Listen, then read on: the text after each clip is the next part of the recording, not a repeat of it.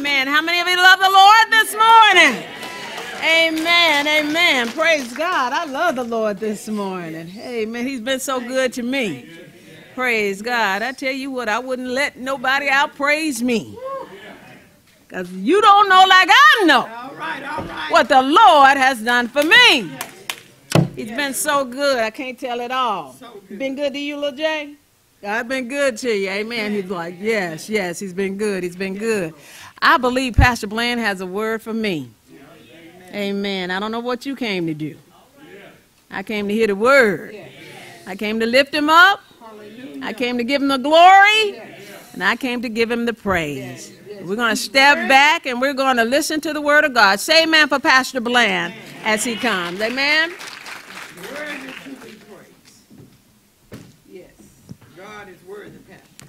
Good morning. Get your Bibles. Let's turn to 1 Peter and start there. I guess my mama approved of what I have on. She said, Boy, you look like you dressed like you going to the cross this morning.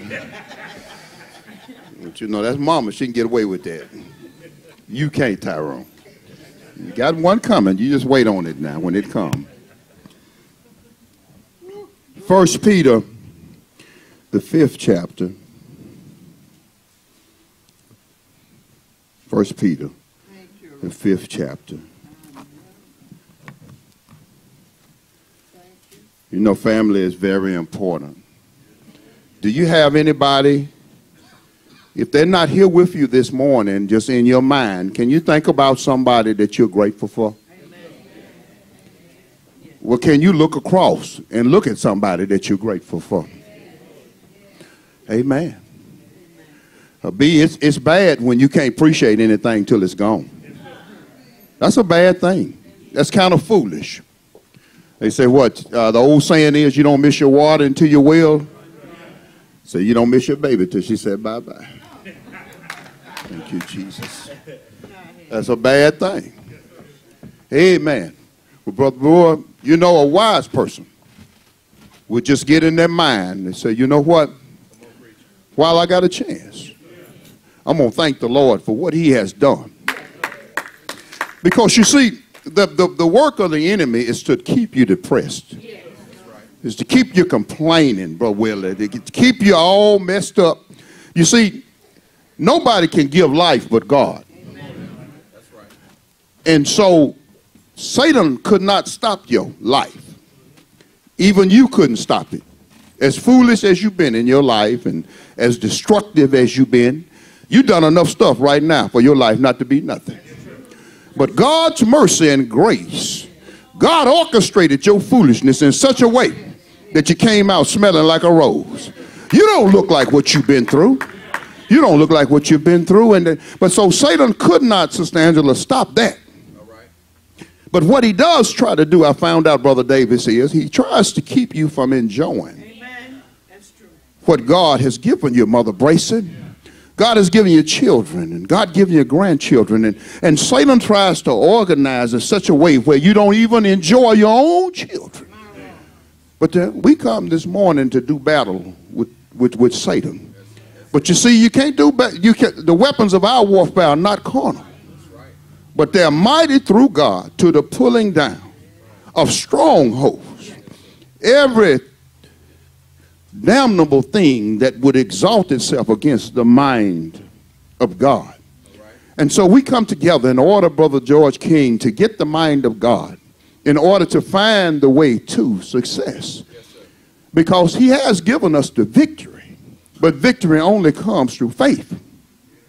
Faith only comes through uh, my knowing, Brother Dennis, and understanding the word of God. Faith come by hearing, and hearing the word of God. And so then, Brother Tyrone, if I can get a word for my situation, just a word. If I can get a word for my situation, and if God can bless me, Sister Vivian, to believe that word, then it will cause me to overcome what Satan has set out to destroy me with. Because we have an enemy.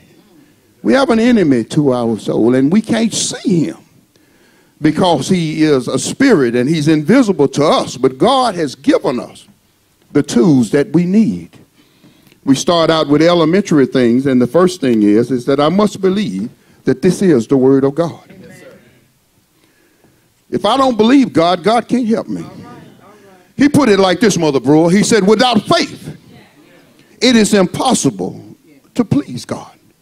I don't come here to see how many folk gonna come. I don't come here for that.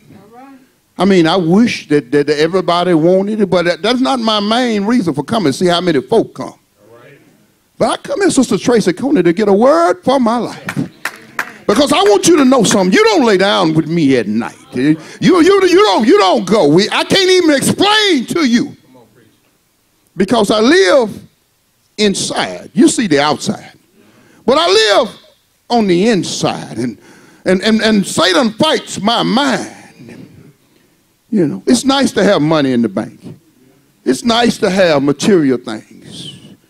But what I found out that it's not so much the material things or the little money that you have access to, but some peace. Just, just, just some peace of mind. And that's what we want to talk about. We just leaving a series uh, about overcoming, and I thank the Lord for that. Uh, the last message was just dynamic.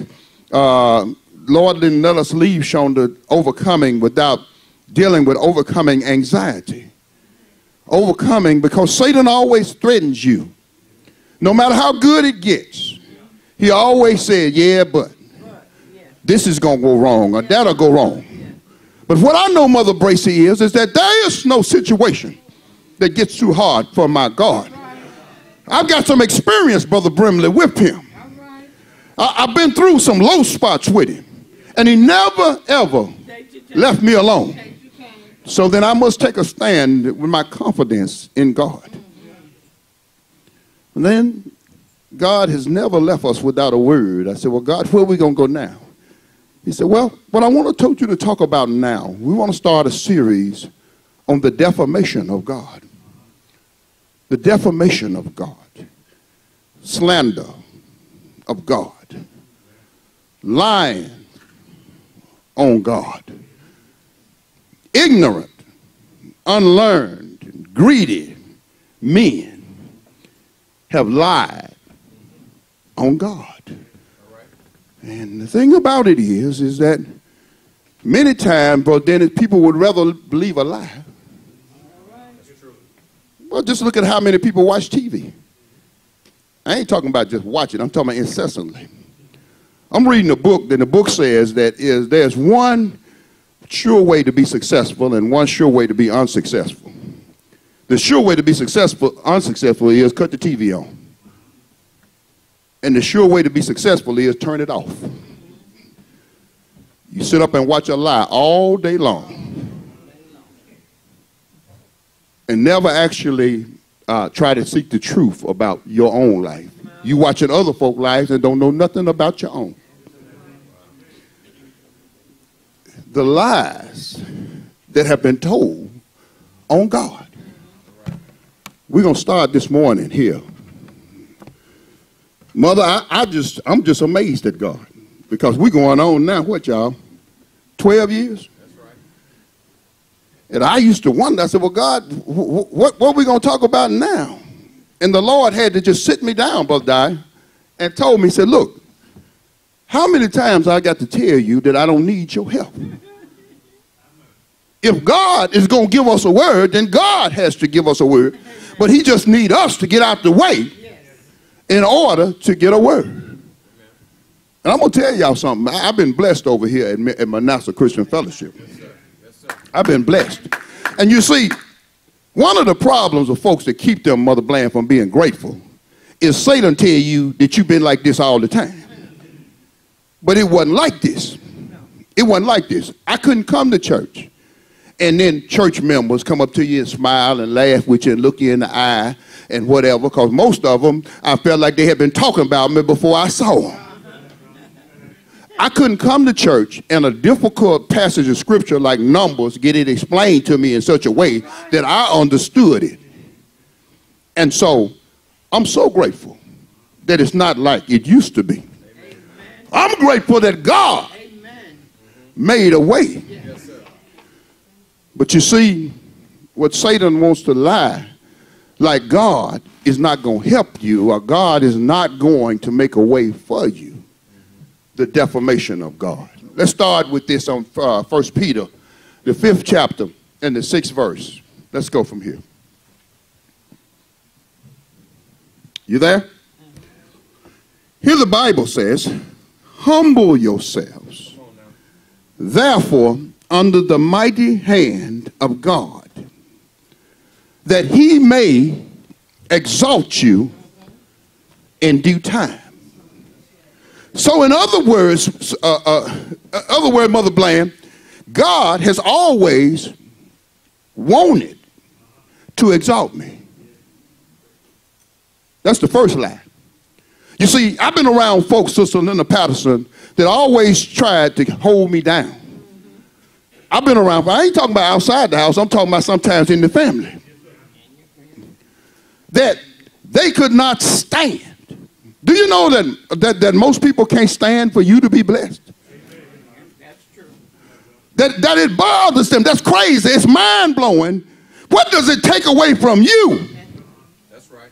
That God is blessing me. But people are wired in such a way that when they see you riding in something that you worked so hard for, that you're making payments on every month, that, that that bothers them. And so then what they do is they can't stop you from riding in it. What they do is they say certain stuff to you that caused you to leave them. And when you leave them, you got in your foolish mind why they said it. They said it because they can't stand you. They said it because they want to diminish your worth. You see, if you don't know your worth, then you don't know how to treat you. I, I, my wife got a saying, man, and I just love it, and that is you got to learn how to pull your own little happy wagon. You sitting around waiting on somebody else to make you happy. You got to learn how to pull your own little happy. If you like to eat at Red Lobster, you should quit waiting on somebody to take you to Red Lobster. Quit waiting on somebody to go to Red Lobster. Get your money and go sit at the table and eat what you want to eat.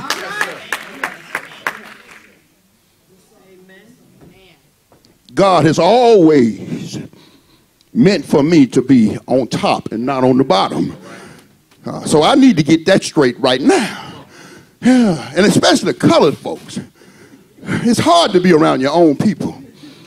Because your own people, many times, are the ones that try to keep you down. They, they the first one that want to talk about that you think you this or you think you that. Are you trying to get lifted up? Or God gonna have to bring you down? No, that's what you hoping. You hoping that I'll fall. You, you're hoping that we won't be able to make it. But I got the news. I serve notice on the devil today yes, that if God be me, he's more than the world against me. And so don't you worry about what I got or what I don't have. If I don't have it another day, I'm riding in it today. If we don't live here another month, we living here today.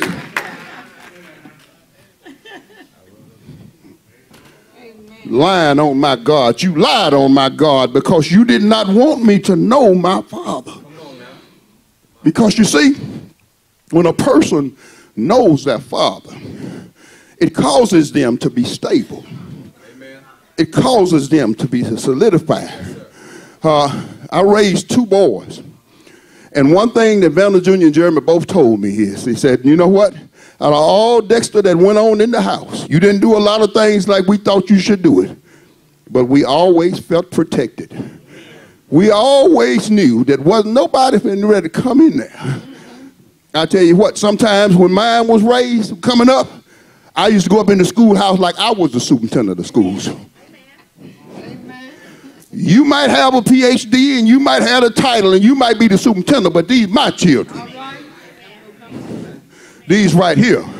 And so I don't really know what you're going to do with the rest of them, But you're looking at these and trying to put them in a category because the color of their skin or because of where they came from or whatever. But these belong when you know who your father is.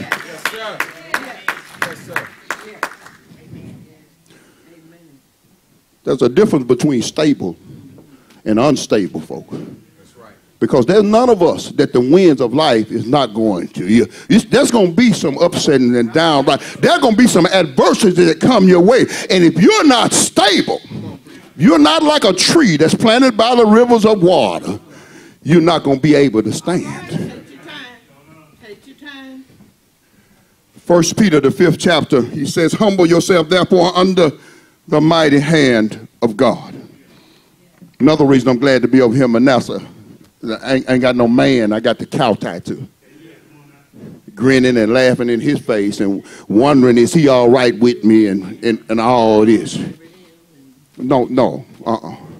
Then they got enough nerve, Brother Willie, now to try to ask me, do, do I want to be up under? No. Don't you need a covering?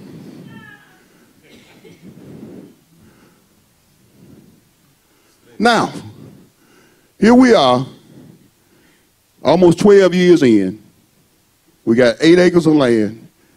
I've got what I call a nice building. And, and, what I call a nice building. It's nice enough for me. I don't need nothing with gold chandeliers and all that. I ain't got that in my house. But it's nice enough for me. I mean, it's cool in the summer and, and hot in the winter, you know. the bathrooms are very nice, thanks to Carl Ray and others. It, it, everything is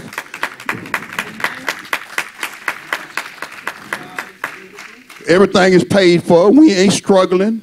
We're not asking folk for money or whatever because the Bible says that God is able to make all grace to abound towards you, uh, always having sufficiency. You see, grace will cause you to always have what you need. In other words, it don't make no difference that the devil don't want you to have it. I got about two or three folks that run up out of here right now said, Pastor, they didn't want us to have it, but we got it anyway. And you think I ain't gonna rejoice about it? The devil said no, but God said it belonged to you. Thank you, Lord. Amen. Thank you, Lord. The Bible said the kingdom of heaven suffered violence and the violent take it by force. God ain't never meant you to be timid about him. Never meant for you to be timid about him. I know that when he was here, they took him and put him upon a cross. I know they nailed him to the cross. I know they beat him. I know they spit in his face. I know they talked to him any kind of way. But it wasn't because he couldn't. He did it out of love to us. But John on the Isle of Patmos saw Jesus coming back in Revelation the 20th, and he wasn't coming. Ain't nobody gonna spit in his face when he come back. He came riding upon a horse, and his name was faithful and true. And he's coming back with wrath upon this wicked world. Yes. Amen. He says here that he that he may exalt you in due time. Let me just go ahead and take my subject so I can preach. Look at your neighbor, look him right there in the eye, and just tell him, say, I'm so glad he cares. I'm, I'm so glad. I'm so glad he cares. I'm going through some things. It's some stuff that I really don't like. I've got some mountains to climb. I, have got some valleys to go through. I've, I've, got some adversities that's in my way. But I, I, come in this morning to get a word from the Lord to say, I'm, I'm, I'm so glad. I'm so glad that he cares. Brother Willie Keller, I've, I've been to, had some down sittings. I've made mistakes. I've, I've, I've, disappointed myself. I've disappointed others. I've, I hadn't lived up to even what I wanted to myself. But, but thank God. I'm so glad he cares. You see, it's, it's bad when, when you think somebody don't care about you. Come on, preacher. It, it's bad when somebody has told you that it's something about you that made them not care about you. And that's what that was so frustrating to me about church is that they had me on a performance based approval. They had me, Sister Vivian, that, you know, if you live right, then God will bless you. And, and I'm doing the best that I know to do, but, but, but I was kind of like Paul in Romans, the seventh chapter, uh, that the things that I said I wasn't going to do. I found myself doing. And I said, Oh, wretched man that I am, who shall deliver me? You see, they lied to me about my father because they told me that my father was angry with me. They told me that my father, Mother Brewer, was going to bring wrath on my head. I had ignorant and unlearned men that was not even studying the Bible trying to tell me about God. They take stupid stuff like a rainstorm coming in and said, This is God mad at y'all. They take horrendous stuff like Katrina the defamation of God. Y'all, Katrina was one of the most terrible things that ever happened in the United States. It came in and people died and lost their life and, and were displaced. Some of the people still displaced now. And ignorant preachers took that opportunity because you won't read the Bible, because you won't get on your knees and get a revelation of who God is. You represent to those people that God sent that storm because he was mad at y'all down. The defamation of God, lying on God. Tell somebody I'm so glad he cares. I'm so glad he cares. I, I, all of us go through life when we think somebody care about us. All of us go through life where we thought that I, I would have thought that you would have been there. You ever been in that situation? You had something that happened. Maybe somebody died or something, or, or maybe you came through a financial struggle or something. Maybe that you just was having a difficult time in life, Madeline, and, and you just said, you said, I, I, I show, I thought they would have been there. I, I would have thought they at least would have stopped by. I would have thought they would have asked. I, I, I thought that they would have cared. But I tell you what, when you know that God cares about you, when you know that no matter how low I get, no matter how depressed that I get, and I'm going to tell you what, I have checked into the hotel not to check out that I'm just so tired about life and suicide thoughts. I hadn't had them very, very much lately, Brother Brewer, but I used to be just, just plagued with depression and suicide thoughts. That I'm just tired. That what's the use? And a lot of that was, was because preachers lied to me about who I was. See, if you value who you are, you don't destroy stuff that you value. And you see, that is no, that's, that's no aspersion on my wife or my mom or anybody because people can't give you a value. You have to get the value from within, from God. And so when you give me a false sense of God's uh, uh, value of me or how God feels about me, you mess me up. It makes no difference how many A and B selections we have. It makes no difference how much money we raise at the church. It makes no difference what kind of new building that we move into. What it comes down to, Sister Linda Patterson, is what do I believe about me? See, they asked Jesus one time, they said, Can any good thing come out of Nazareth? But you see, Jesus always knew his father's love for me. When he stood to pray, he said, Father, not for my sake, but for the ones that's around. Because I know that you always hear me. And that's the reason right now I probably will never be a member of any kind of ministerial alliance. I never fool with none of these preachers or nothing like that. And the reason is, is because you want to give me a false impression of what God thinks about me. God is not angry with me. God is not angry with me. And I know why God is not angry with me. Not because I haven't done anything wrong. But God is not angry with me because he came down and took on flesh. And he got on a rugged cross in order to receive all the wrath of God against sin upon himself. And so now, God does not impute sin unto men. Preachers spend the whole service preaching about sin when they're supposed to be preaching the gospel. There is nobody that has no sin. So if it takes not having sin in order for God to like you, you in trouble.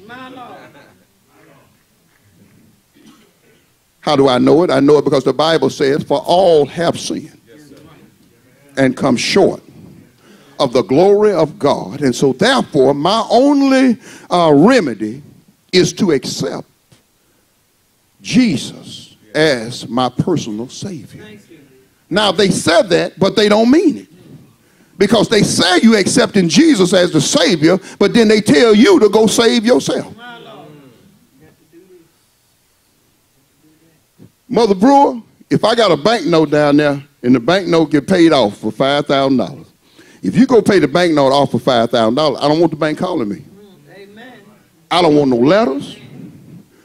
I don't want no calls. Why is that? Because my note has been paid off. Jesus paid my sin debt. I, I don't care what nobody thinks.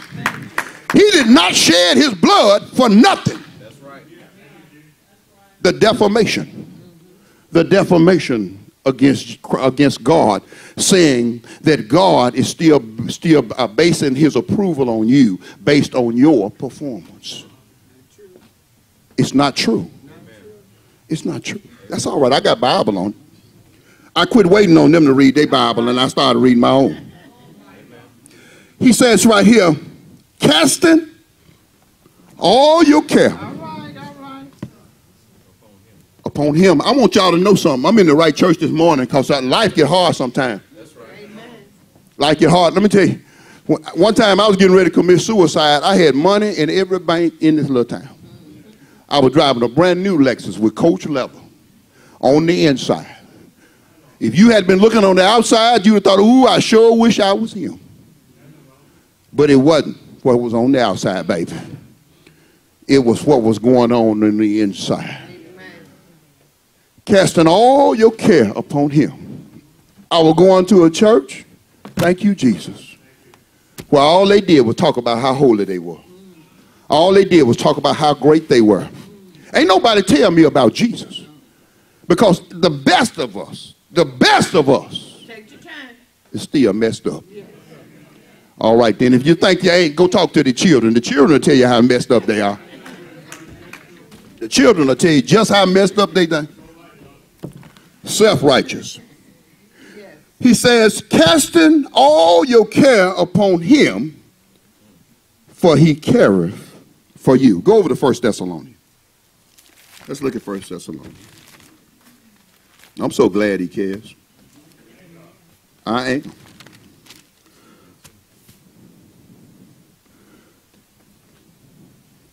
I got in my mind tonight. I told little Jay, I said, let's go over grandma's scene. Let's let's let's spend the night over the grandma's scene.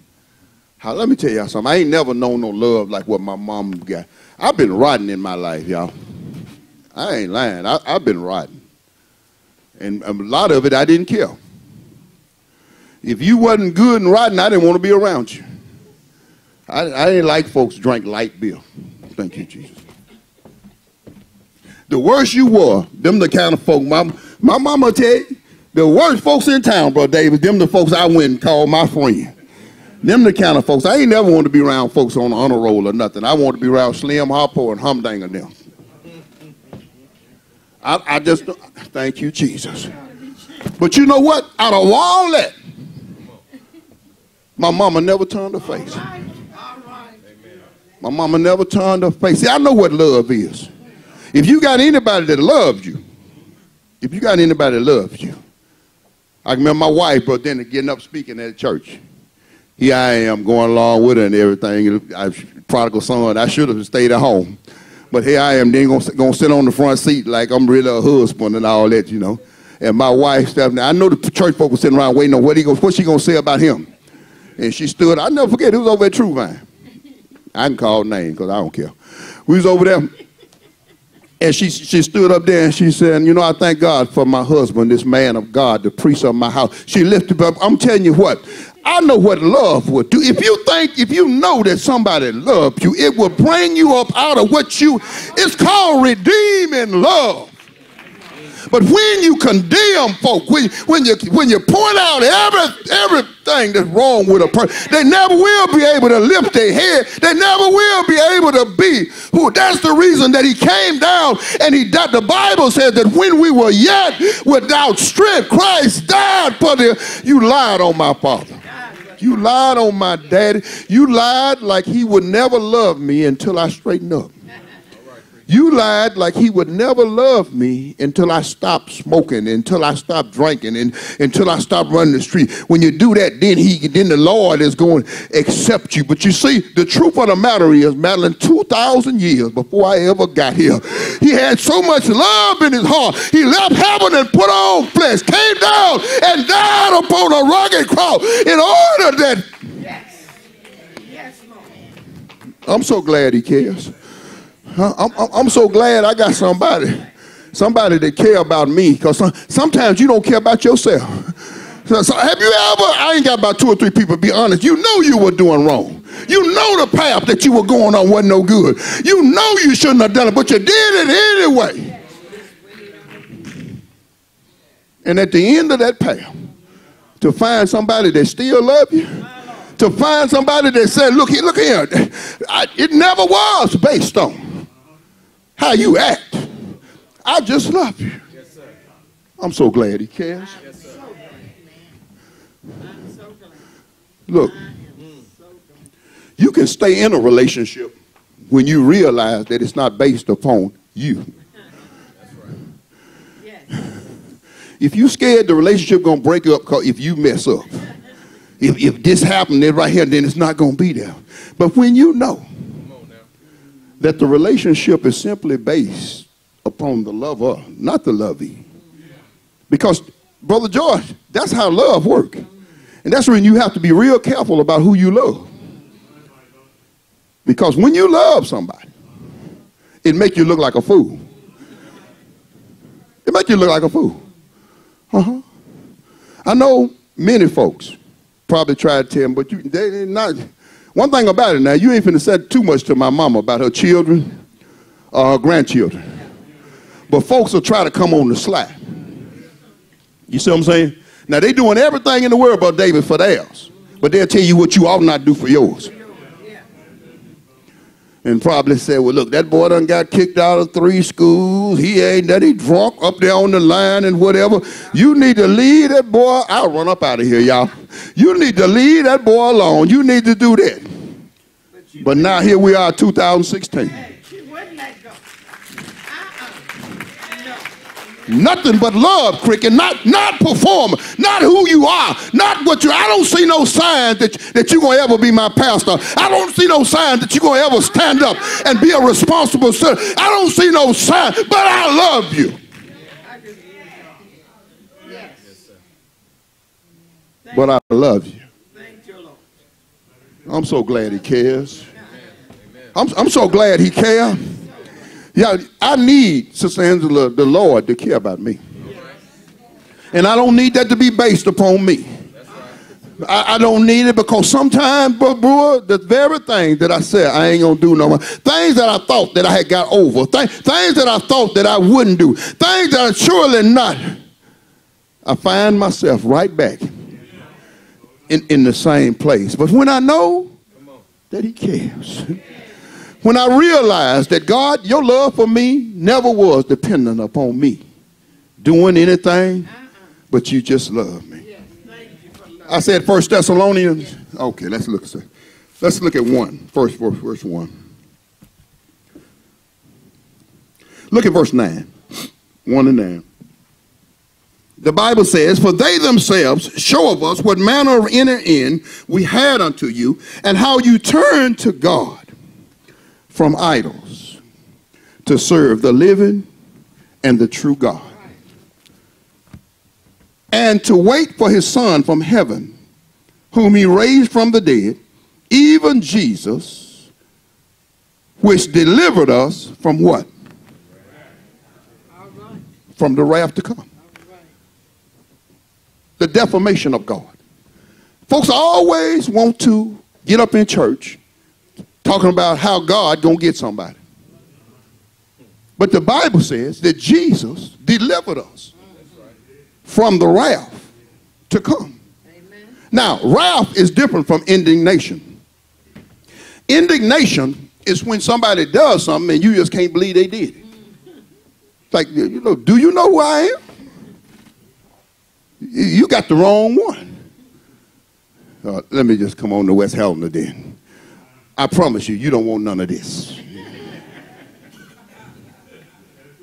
That's indignation.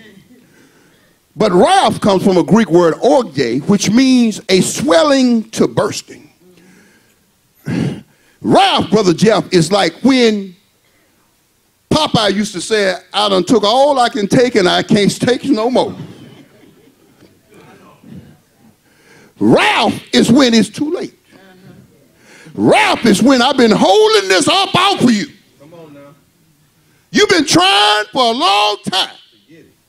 My mama and them used to say that. You've been working on it. She used to tell us that sometimes. You working on it. And when it broke loose, mama, bro, maybe you didn't love me as much as I thought you did. When she, when it broke loose, anything. I used to try to get smart and hide the extension cord. I know it's extension cord, but when she put it on me, it was a extension cord. I used to try to get smart and hide the extension cord. I ain't help none. She go find a iron, whatever got a cord on it. Come here. And I thank God my mama wasn't like some of y'all. She wasn't scared of a child. I thank God she wasn't scared of me. She said, oh no. I done fed you too long to be scared of you. I fed you too long to be scared of you. And so that, my mama with me after I got in college. So I don't care how big, and I've been six feet tall ever since I was 12 years old. With size 12, 13 shoes, they didn't make no difference. Uh-uh. She said, I'd rather whoop you than them other folk. You heard it. I'd rather whoop you than them folk whoop you down there. Delivered us from the wrath to come. Last verse. Turn over, let's see. Let's look, let's look at Galatians. Y'all looking forward to this series? The defamation of God. Lying on God. And then get mad because I don't want to come here. You don't never want to come to my church. I don't never want to come hear them lies. Say something. Say something. And then I'll come. I'm trying to get over the lies you already told. All right. Galatians. Well, I tell you what, it sure does help to be 60 years old. It sure does. And then on part of it is, is that a lot of folks, Brother Dennis, that you know have died.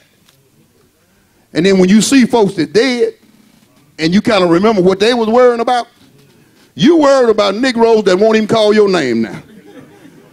They never did care nothing about you. Oh, okay.